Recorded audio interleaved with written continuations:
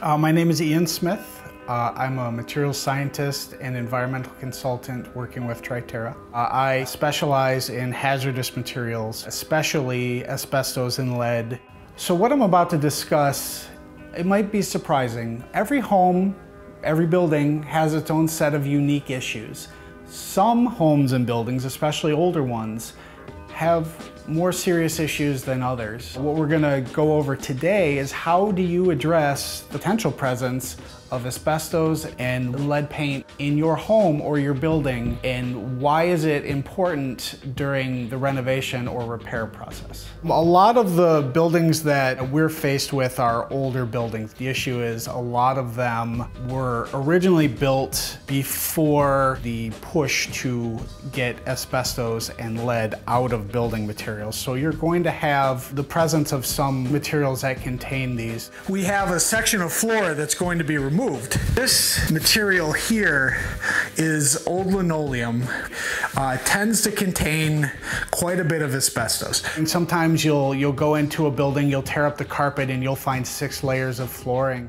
And while those aren't a nuisance or a health hazard when they're covered uh, and encased, once you start removing materials, you're introducing asbestos into the air and it's gonna cause a health hazard that maybe you weren't aware of. With asbestos, we worry about what's called friability. So if something is friable, you can take it in your hand and you can crumble it to dust, and then that dust can get into the air, and then you have an issue. You're breathing in asbestos fibers. So in this case, this is not friable.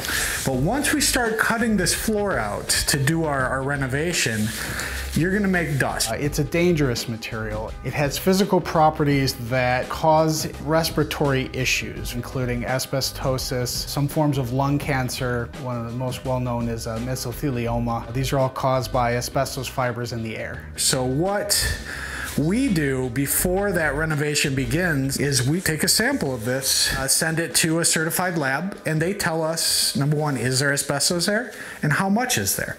We've also noticed we've got an older wall here. Uh, this looks like it is drywall, but it, it is old enough that I would be concerned uh, for the safety of that if we were to start tearing that out for two reasons. One, it could contain asbestos fibers, usually in the joint compound that's used along the seams, but also because there are so many layers of paint on there, it could contain lead-based paint. Similarly, uh, if there's lead in paint within your home and that paint is in good condition and remains in good condition, it's not going to be a likely hazard.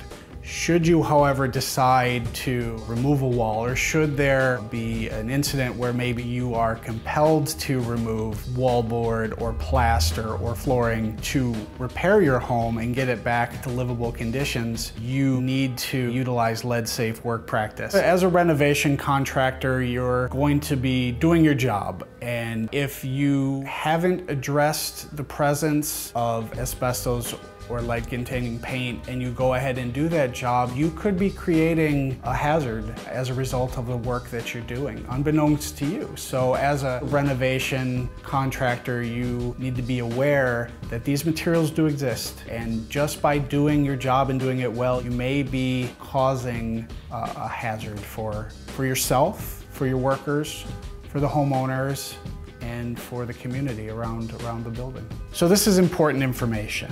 If you have any more questions about it or you think that we can help you, please contact Triterra and give us a call. You can send us an email or you can just visit our website.